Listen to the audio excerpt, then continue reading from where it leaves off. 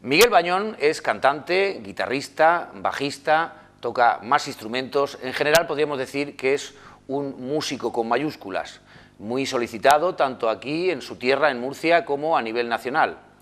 Los Marañones recuerdan esa formación, grupo que de toda la vida y a finales de los años 80 con ellos ha tocado por todos los rincones del país, labrándose una reputación importante entre los grupos de culto del rock nacional.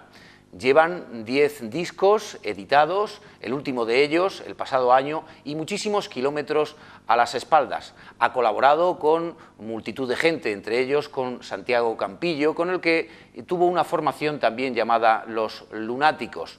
Eh, también pues, ha grabado temas con grupos y colaborado también como músico con los del Tonos, con José Le Santiago, con los Rebeldes, también con los Enemigos. En fin, estamos hablando y vamos a pasar a conversar con Miguel Bañón de nada más y nada menos que unos 25 años de rock and roll. Bienvenido. Hola, ¿qué hay? Han pasado 25 años ya aproximadamente, ¿no? Se dice pronto, ¿eh? 25 años. Si no me lo dices tú, ni me lo planteo. Y en este currículum rápido así, eh, seguro que me faltan muchos, muchos detalles. He querido dar a grandes rasgos, así, digamos, unas pinceladas sobre tu trayectoria musical. Eh, pues fundamentalmente podríamos decir que eres un músico de rock and roll, ¿no? Y, que, y que, has colaborado con mucha gente y que sigues ahí en, en este siempre difícil mundo de la música, ¿no? Sí, bueno, ahí has dicho varios conceptos muy, muy amplios, muy generales. Sí, yo empecé siendo un chaval, como prácticamente imagino que todo el mundo, en el colegio, a muy temprana edad, 14 años o así, o 15, y lo que me gustaba era, pues, eh, no sé, Elvis, los Beatles, todo ese tipo de canciones que era el rock and roll, más clásico, ¿no? Claro, empiezas jugando con compañeros de, tu colegio, yo soy John Lennon, yo soy Ringo Starr, tal. Y haces un grupo, un poco para tal, pero luego te das cuenta de pues, que te gusta ese, ese, rollo, ¿no? yo recuerdo ver una película, que noche era de aquel día, no sé en qué año la pusieron, pero yo a lo mejor tendría 13 años, y la pusieron en, el UHF, que se llamaba entonces la segunda cadena, y, y dije, a mí me gusta esto y tal. Se montaban en un tren y cogían una armónica y una guitarra y se ponían a cantar. dije, esto, este rollo me va a mí y tal.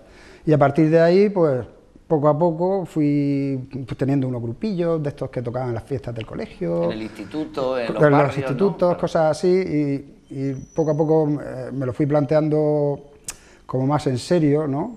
Eh, llegó un momento en que pues yo tenía mis estudios, mm, terminé mis estudios, hice la mili y te dije, ¿qué voy a hacer en la vida? Dije, pues voy a tirar de cabeza a la piscina de, la música. Y eso, a eso me dediqué. es un, no sé, es un sector bastante difícil, hay muchísima competencia, hay muchísimas complicaciones cada vez más, ¿no? En cuanto a que, pues que cada vez se venden menos discos, está la industria regular nada más. Eh, pero yo siempre he sido una persona optimista, que pienso que, que esto es un, depende también de un poco eh, tu trabajo. A veces piensa la gente que, que el músico es un poco bohemio, que, que, no, que no, echa horas. Que, no se trabaja, que se trabaja por la noche, que se liga mucho. Que se liga mucho, que, que, también puede ser verdad. La, noche, el vicio, el rock and roll, el sexo.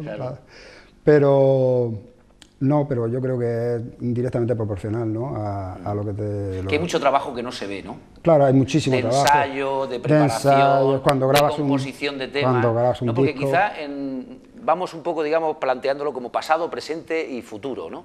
En el pasado ese de, pues, principios, mediados de la década de los 80, en donde aquí en la región de Murcia, o por lo menos lo que yo recuerdo, el, rock and roll llegó... Mm, a nivel de conciertos llegó en su momento, pero digamos no en cuanto a formaciones o bandas eh, que, que explotaron yo creo que a partir pues eso de principios de los 80 eh, farmacia de guardia eh, mm, también fue a partir de entonces después mm, llegáis los marañones M Clan también digamos. Podríamos decir que esa década de los 80 fue la verdadera explosión del rock murciano mm, sin duda sin duda porque antes bueno habían eh, seguramente la cosa empezó cuando acabó el franquismo ¿no? digamos que el rock and roll no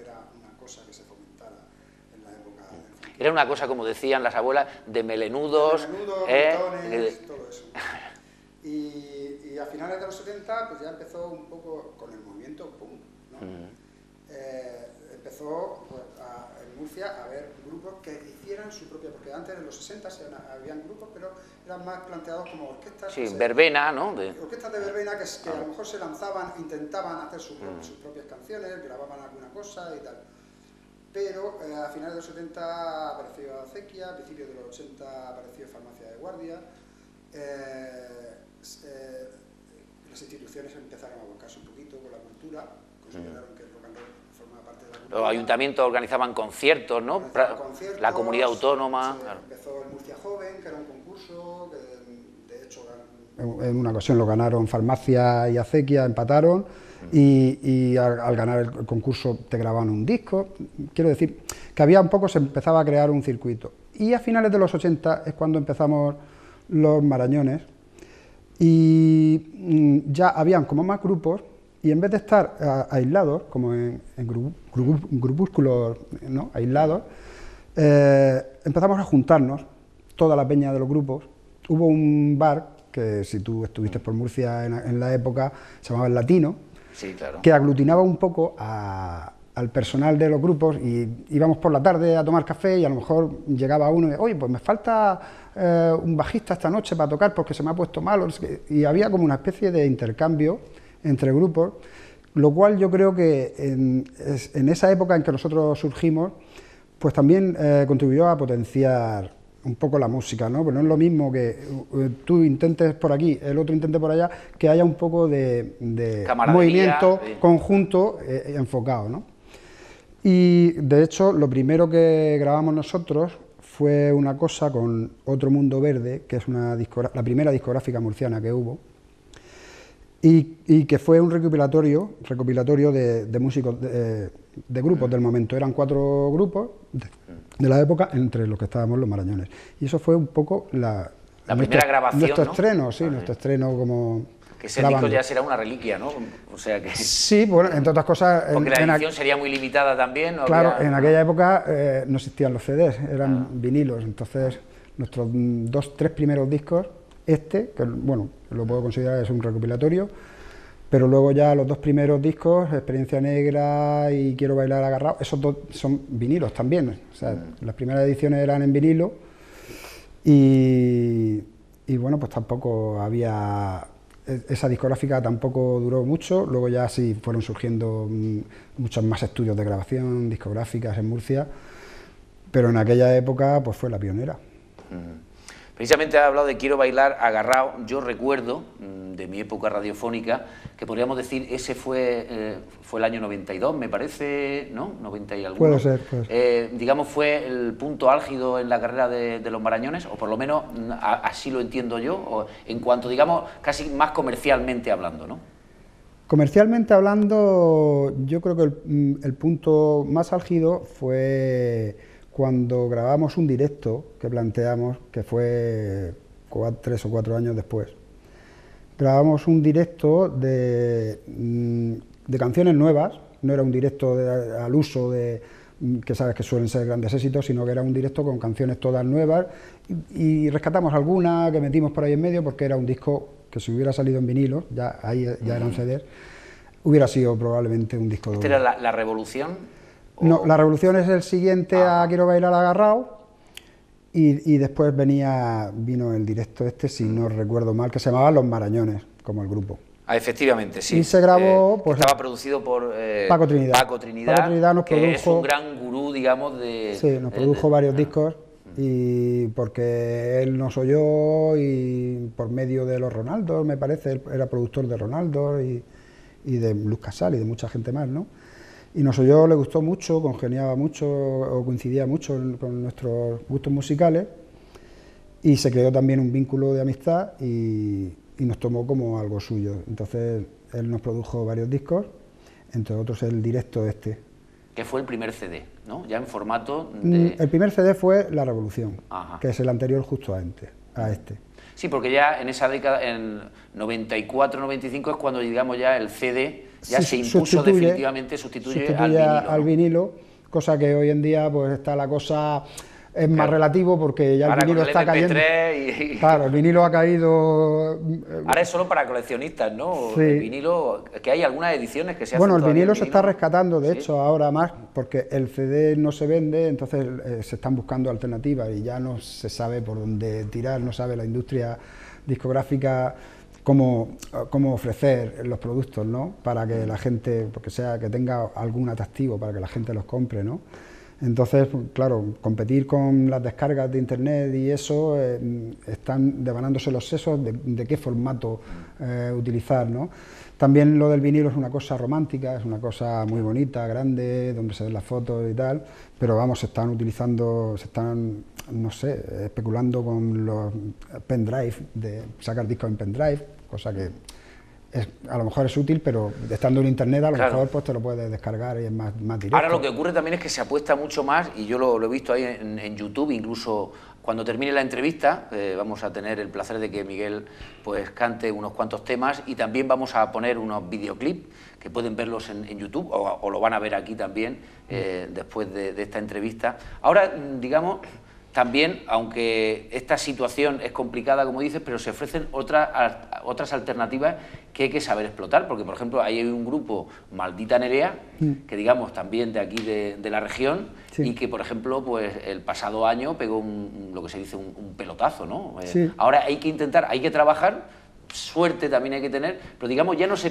no depende tanto de que haya unos grandes productores, el, caso de, Trinidad o de, de otros, porque, o por lo menos hoy en día no se conocen tantos o, tan importantes productores, aunque también los hay, ¿no? es que, está Carlos Raya con... Sí, bueno, es que en realidad la figura del productor musical no es el que paga el disco, el, que, el productor ejecutivo que paga el disco, que hace la producción, digamos, ejecutiva, es la discográfica, es la que pone el dinero, la que paga el estudio, promoción, etcétera, ¿no? El productor musical eh, puramente, el que pone detrás del disco producido por fulanito de tal. Es un productor artístico, es, el que eh, es, un paso muy importante en la música porque es como enlatar eh, el sonido de un grupo a, a, un formato que no está el grupo ahí. La música es algo que está flotando en el aire y es muy difícil llevar, plasmar el sonido de un grupo que tú ves en directo luego en, en, formato de CD, mm, vinilo, cassette o lo que tú quieras. ¿no? Entonces, la figura del productor eh, musical es productor artístico, entonces lo que hace es intentar dar un enfoque, puede ser una producción, por ejemplo, por, decirte de, qué modo influye, puede ser una producción en que quiera reflejar tal como suena el grupo, lo, lo cual no sería, sería un disco poco producido, o puede ser una producción como la de, digamos, el Sgt. Peppers de, los Beatles, ¿no? Una producción con mucha floritura, con violines Con mucho arreglo, ¿no? Con mucho arreglo, una, eh, una producción como más elaborada. Entonces eso es básicamente el productor. Entonces, lo que está eh, eh, ahora mismo en crisis es la industria, son las discográficas. Sí, porque no hay venta. Porque no hay venta. Básicamente porque no hay venta. Claro. Entonces, los ingresos son a través de conciertos. Claro. Lo que pasa es que, claro, esto es la pescadilla que se muerde la cola, ¿no? O sea, si no estás sonando en las emisoras, apareciendo en la cantidad de canales musicales de televisión que hay, si no tienes un producto en el mercado, difícilmente te pueden contratar para que vayas claro. Obviamente, ¿eh? a hacer conciertos. Obviamente, como tú dices, la pescadilla se muerde la cola, porque si tú no grabas un disco, no tienes nada nuevo que ofrecer, pues no te van a salir conciertos. ¿no? Entonces, pues mm, tienes que un poco pues, entrar en esa dinámica de ir grabando discos. autoproducción, ¿no? Autoproducción es lo que se lleva más ahora, puesto que las discográficas han, han bueno, las que no han desaparecido, pues han disminuido. Son multinacionales prácticamente. Son multinacionales que, sobreviven a base no de la industria sola musical. Warner y Claro, porque también están metidos. Con, con se están metidos en todas las que había entonces, ¿no? Están metidos en muchas más cosas, en, electrodomésticos, en, muchas cosas, ¿no? Son emporios. Sí, lo que digo yo, Sony te vende el reproductor, te vende el disco y te vende también lo que es la discografía, ¿no? Claro. Entonces ahora, pues la cosa pues está más en los directos, que duda cabe. Eh, respecto al músico. Luego también pasa que hay mucha gente que empieza y que tiene muchas ganas de grabar cosas nuevas y a lo mejor están peleando por fichar por una multinacional, de, las que hay y tal, pero ahora los contratos yo creo que son en, unas condiciones mucho más leoninas, puesto que las discográficas no sacan mucho partido de la venta de discos, entonces intentan eh, meterse también en, en management, en, en derechos de autor, y todo eso. Y como hay gente, hay mucha gente que da cancha a eso, puesto que están deseando sacar cosas de, cualquier forma, pues firman unos contratos a veces que no les queda a ellos margen ni de los conciertos, ni de derechos de autor, que pagar ni, de, nada. Entonces, eh, claro, cuando las cosas se ponen complicadas, pues también la situación es peliaguda. Entonces nos quedábamos ahí en, ese CD, en, precisamente eh, pues un disco que fue disco de la semana en, Radio 3. Radio 3 fue, mm, sigue existiendo todavía como, como emisora, pero en aquel momento yo creo que eh, incluso un poco antes, eh, independientemente de los 40 principales que siempre han llevado su camino distinto y que es música exclusivamente comercial, pero Radio 3 ha sido verdaderamente la cantera, los descubridores de, la música eh, española, ¿piensas? Bueno, Radio 3, desde luego, en los años 80 fue un trampolín para lo que llamaron de alguna manera la movida madrileña, que, luego se extendió al resto del país y entonces pues eh, toda la música esto no es Hawái ¿no? Yo esto no es Hawái, que guay el programa de esto no es Hawái sí sí pues, que ahí fue el trampolín de Loquillo por ejemplo. Claro de muchísima música en este país. Y eso fue mm, más que nada en los años 80 Radio 3 qué duda cabe. Y luego estaba no sé para nosotros fue decisivo. Nosotros estábamos los marañones nos conocíamos era un grupo de amigos nos conocíamos casi desde de chavales, y hacíamos nuestras casetes, hacíamos nuestros discos en casetes de 90, es decir, que eran unos discos muy extensos, pero se quedaban en nuestra casa. Y un día se nos ocurrió... Grababais directamente de, la mesa de mezcla al, o, sin mesa de mezcla, directamente con el micrófono que llevaba el radio cassette, este, va bien cutre pues, pero era suficiente, nosotros grabábamos, teníamos nuestra idea, las ideas eran lo importante y las plasmábamos. ¿Y esas maquetas se mandaban luego para...? ¿no? no las mandábamos, nosotros lo hacíamos porque nos encantaba, nosotros es algo como muy vocacional, ¿no? Ya lo hacíamos en aquella época, que a lo mejor teníamos 17 años, 16 años, y lo hacíamos por gusto. Pero un día se nos ocurrió mandarle un cassette de estos a Diego Manrique, porque es uno de los críticos más prestigiosos y para mí de los mejores de este país. Y, y nos contestó con una carta bastante mm, motivadora, por así decir, ¿no? que estaba muy bien lo que hacíamos, que no entendía como tal, que era una música que a él le encantaba, le hubiera encantado hacer en su vida y tal. Que eso fue una inyección de moral para vosotros. Una, una inyección de, de, hacer las cosas por pasarlo bien, ¿no? Nos juntábamos para pasarlo bien, tal, nos tomábamos una cerveza, grabábamos nuestras canciones, luego lo oíamos y nos reíamos y lo pasábamos bien. Y a, decir, bueno, pues vamos a hacer un grupo, ¿cómo le ponemos? Los marañones. Muy bien, pues seguimos avanzando en, el tiempo, porque digo, son, son eh, un total de 10 discos en, estos 25 años. Eh, luego llegamos ya a la, a la década del, 2000. Bueno, en el 97 eh, se incorporó al guitarrista Joaquín Talismán en ese álbum que se llamaba Matando el, Tiempo. Sí, sí. Y, ya mm, también hay un hito aquí que pone que en 1998 eh, se presentó pues, unas canciones, un concierto que se transmitió eh, pues, eh, por imagen y sonido por primera vez en, Internet. Esto sería, digamos, toda vez, todo un logro, ¿no? En aquellos tiempos en los que en Internet no había banda ancha, ni tarifas planas, ni Claro, hay que trasladarse a la época, en el 98. Porque pues, es que en 10 o 12 años había una revolución Claro, había una revolución bastante grande. Aquello fue un experimento que salió bien, yo creo que salió bastante bien y que lo, planteamos con Distrito Producciones, que si quieres luego hablamos porque es, una productora con la que tenemos bastante relación y hemos hecho luego cosas con ellos. ¿no? Y, y pues nada, pues fue algo experimental porque desde luego en aquella época, por, lo menos aquí no se hacía, y pues era retransmitido para todo el mundo el Internet. Claro, pues si es que el Internet te puedes conectar desde cualquier sitio, ¿no? Eh, faltaba también que eh, tuviera, en aquella época tampoco los equipos no corría tanto el internet como ahora, ¿no? Entonces. Antes pues, para cargar o descargarse algo. en streaming, pues seguramente se atrancaba un poquito y tal, pero, pero salió bastante bien y tuvimos ahí un chat con gente y hubo mucha gente que lo vio y fue una experiencia, pues pionera de alguna que manera. por lo que veo siempre te ha gustado, digamos, ir experimentando, ¿no? En, conforme van... Sí, bueno, yo creo que hay que utilizar todos los medios que se van creando y, todo está bien, ¿no? Y de hecho, pues a lo mejor si en aquella época pues tampoco había un tanto por ciento de, internet en las casas como, como, hay ahora, pero sí que nos gustaba, teníamos ya nuestra página web y nos gustaba utilizarlo como medio de, pues, de difusión de nuestra música, ¿no? Desde, desde, lo de Diego Manrique ya se nos quedó. Pues, eh, ¿Para qué nos vamos a quedar esto para nosotros? Pues vamos a difundirlo todo lo que se pueda. Y ya llegamos al, siglo XXI, ya en, los 2000, el octavo álbum, Extraña Familia, y poco después ya celebrasteis vuestro 20 aniversario.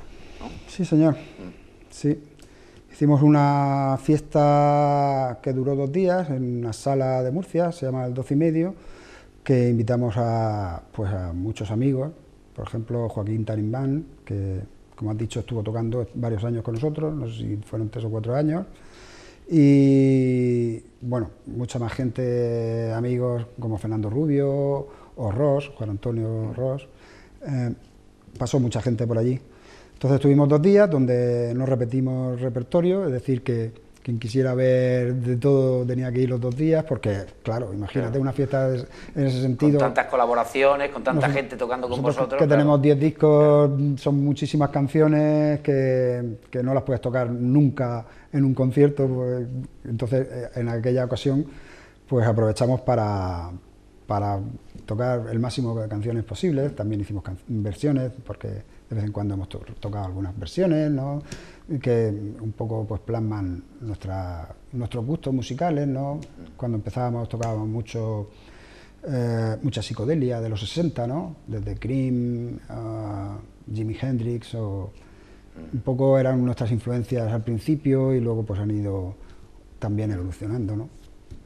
Aquí estamos viendo algunos videoclips de los que habéis grabado, incluso también algunos conciertos, he visto algo de en La Puerta Falsa, en, bueno, de, a nivel de salas, en Murcia Capital y, y en, bueno, en, media España, eh, os lo habéis pateado prácticamente todo, ¿no? Sí, bueno, entre los Marañones y, con Santiago, con Santiago Campillo, eh, llevo tocando prácticamente lo mismo, un poquito después que con los Marañones.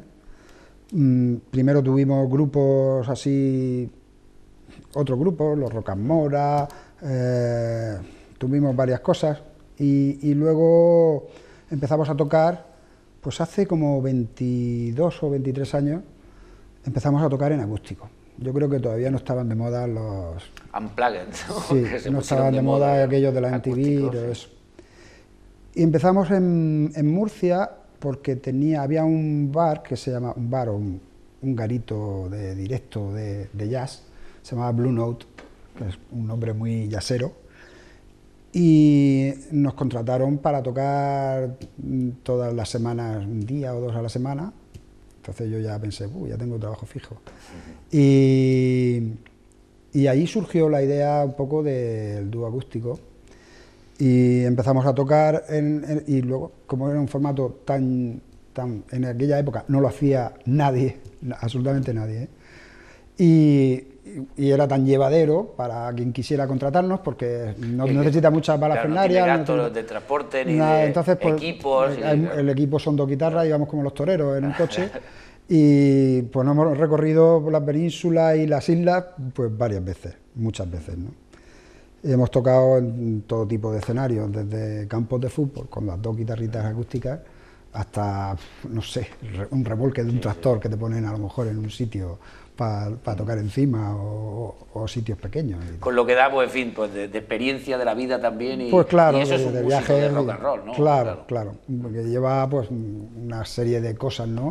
Pues que muchas horas de coche, llegar a un sitio, no tener tiempo a ver cosas que a lo mejor no saber con quién te vas a enfrentar esa noche, ¿no? No, a enfrentar o, a pasarlo bien, que normalmente suele ser pasarlo bien, ¿no?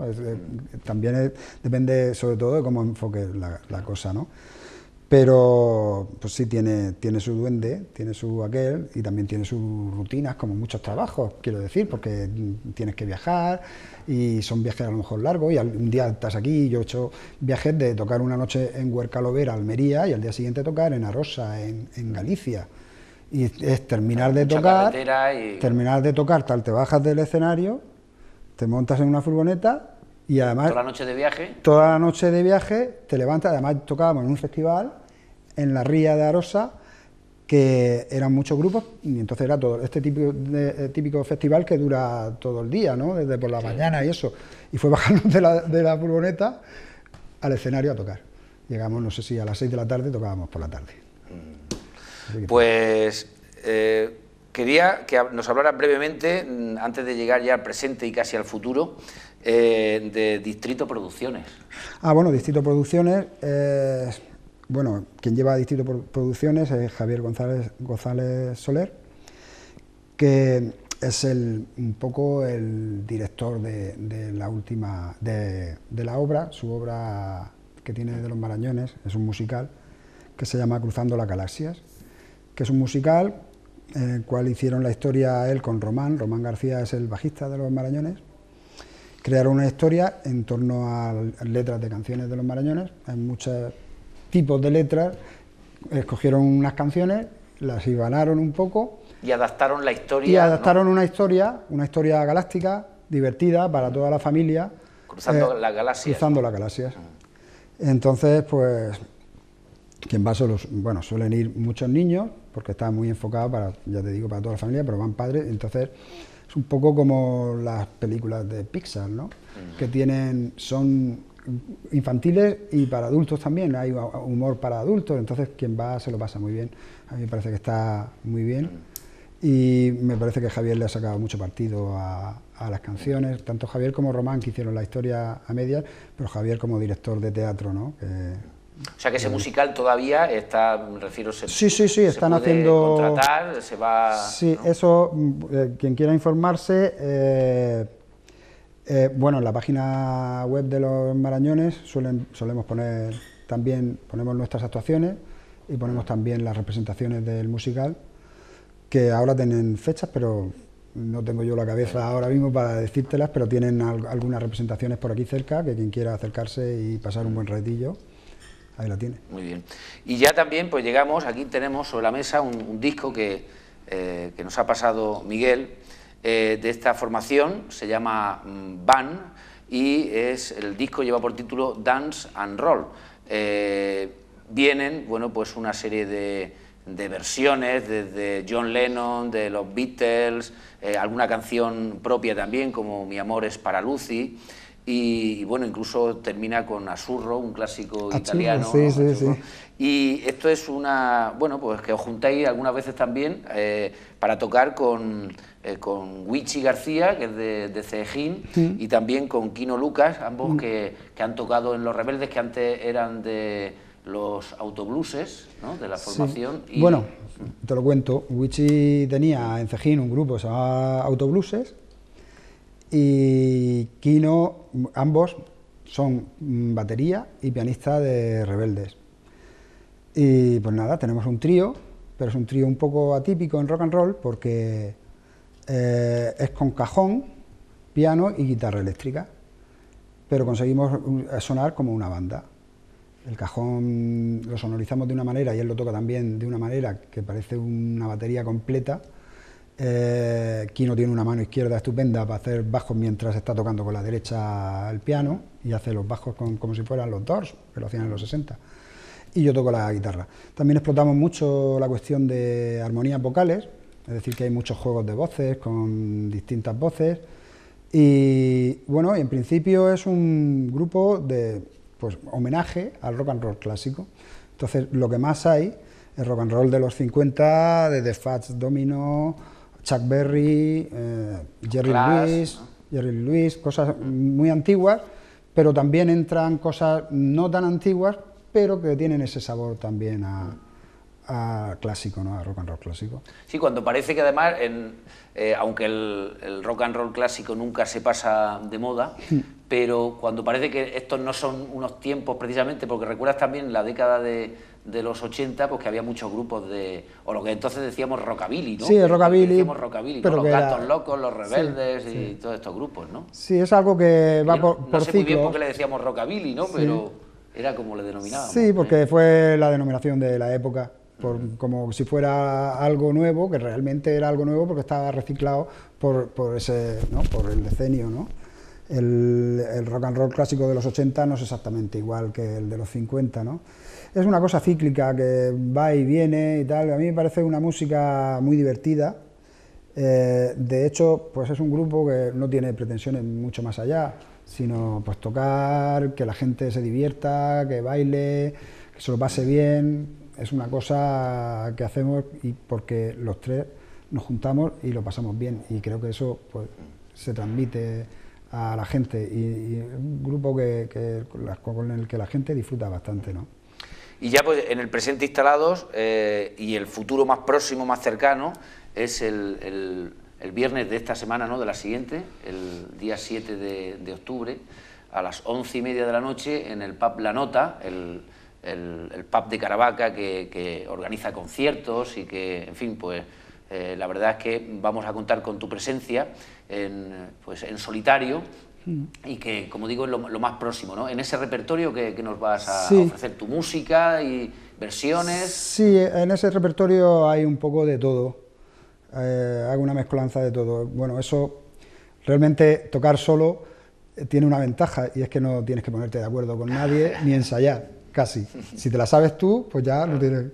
Entonces, eh, no sé, cada noche es un mundo y eso me gusta a mí mucho porque en el rock and roll, pues la improvisación para mí tiene un, tiene un componente bastante bueno, ¿no? porque cuando improvisa el músico mm, deja de ser la actuación rutinaria, se lo pasa mejor y eso, pues, eh, hay, hay un rebote ¿no? con, con el público, ¿no? en ese sentido.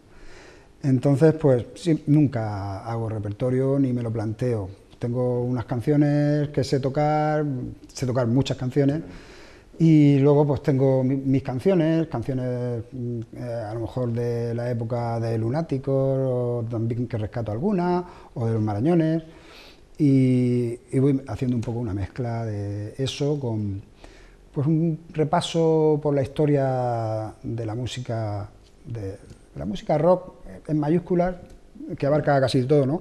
Ten en cuenta que lo que yo hago solo es con una acústica o con un ukelele, y armónica y tal, entonces mm, en eso entra más folk rock, a lo mejor, a priori, y luego puedo hacer otros tipos de, canciones, ¿no? De, David Bowie, no sé, entra, la historia es muy rica, ¿no? La historia del rock, entonces puedes tocar muchas canciones muy buenas y que la gente se identifique, las conozca y las disfrute, ¿no? Muy bien, pues ya lo saben, eh, todos los amigos que les guste la música y especialmente el buen rock and roll, tenemos una cita importantísima, gracias a Miguel Bañón, eh, que vendrá a Caravaca eh, este viernes, y también pues a El Niño Magnético, que Niño gracias a él, pues los últimos conciertos que están viniendo, pues gracias también a, a- a la colaboración con el Niño Magnético, ¿no? que es el encargado de ponerse en contacto con, con gente como tú y, y traerlos aquí a, a Caravaca. Claro. Imagino, ¿habías tocado ya aquí alguna vez en, Sí, en, en Caravaca? ¿Habías claro, claro, he tocado en varios Sabía. formatos, con Santiago, con los Marañones, etcétera. Sí, pero hacía tiempo que, que no venía. Está bien eso del niño magnético que le meta caña aquí a Caravaca, que le hace falta un poco de... Está un poco dormida en ese Hace falta aspecto, un poco ¿eh? de actividad, sí, sí. Muy bien, pues muchas gracias por acompañarnos y bueno, pues ahora te invitamos a que cantes al- algunas canciones. De acuerdo, Muy bien, encantado. Igualmente. Venga.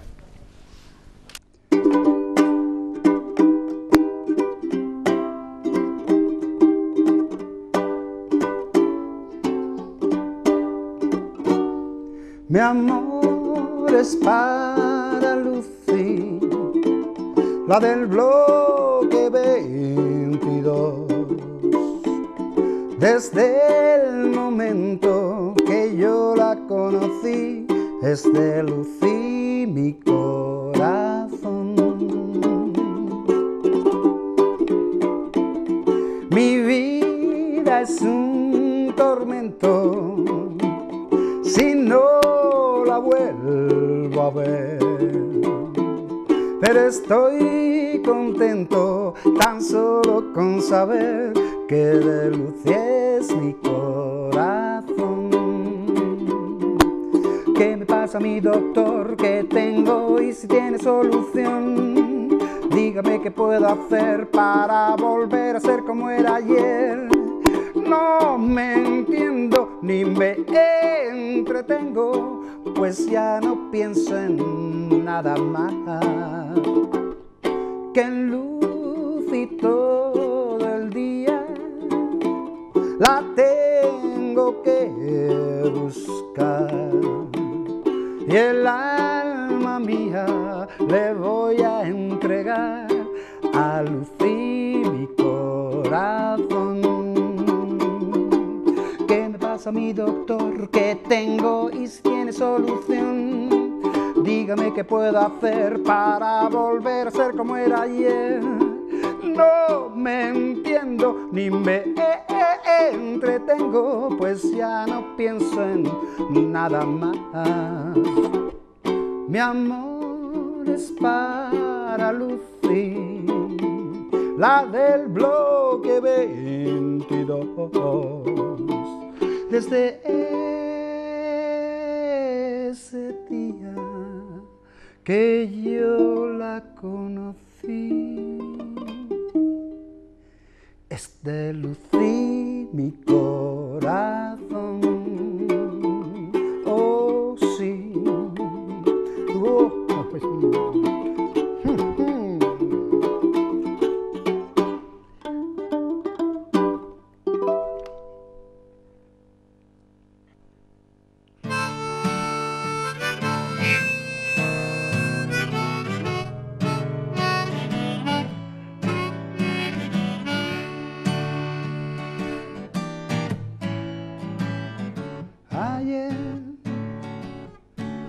Todo ocurrió ayer y aunque estuvo bien, tienes que comprender que esto es una canción para decir adiós. Te vi Tú me miraste a mí y todo empezó a fluir. No hay nada más que decir. Esto es una canción para decir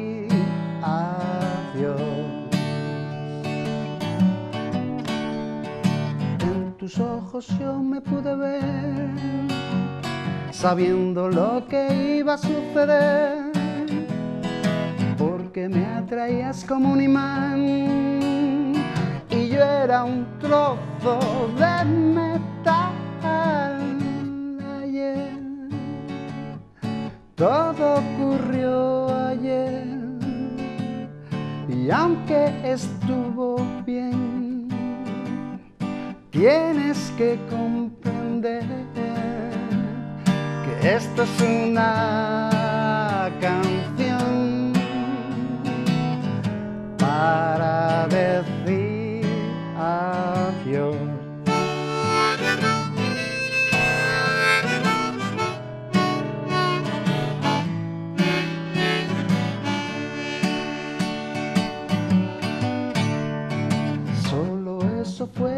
pasó, breve pero lleno de emoción. Si un día nos volvemos a encontrar, lo tenemos que celebrar. Te vi, tú me miraste a mí y todo empezó No hay nada más que decir. Esto es una canción para decir adiós.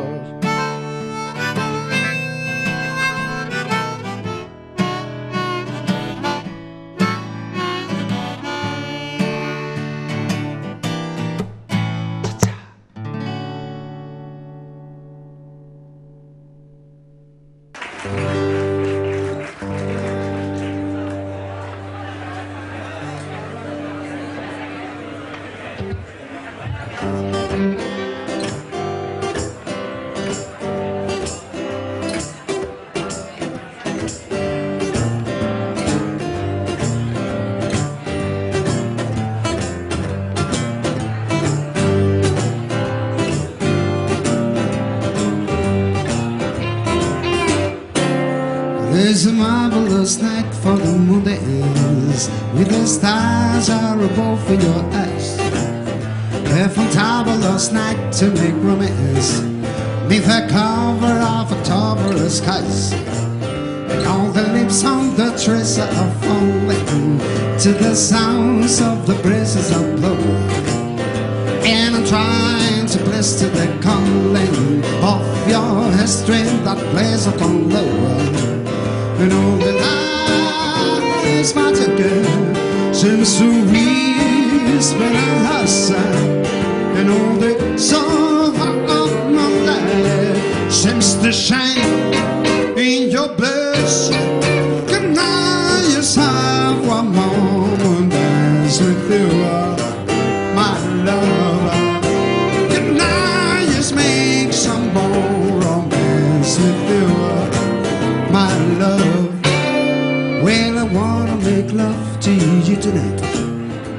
can't wait till the morning has come. And I know now that time is just right. And I strain into my arms will run. When you come, my heart will be willing to make sure that you're not alone. That and then all my dreams will come to dear. There and I will make you my own. Every time last time.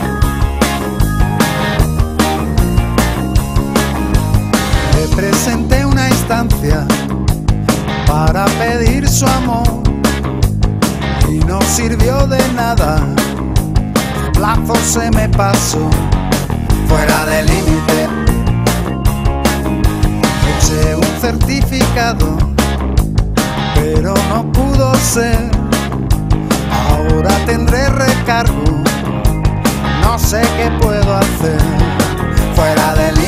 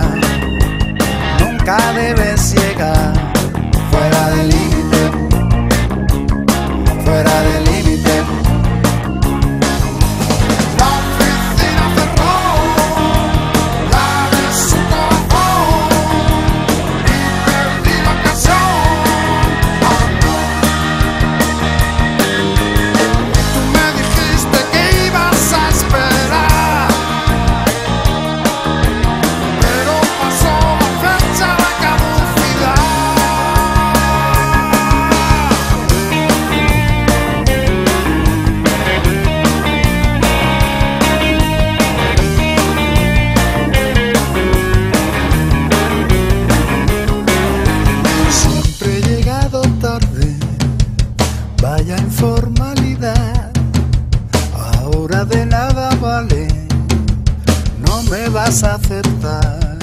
Fuera del límite.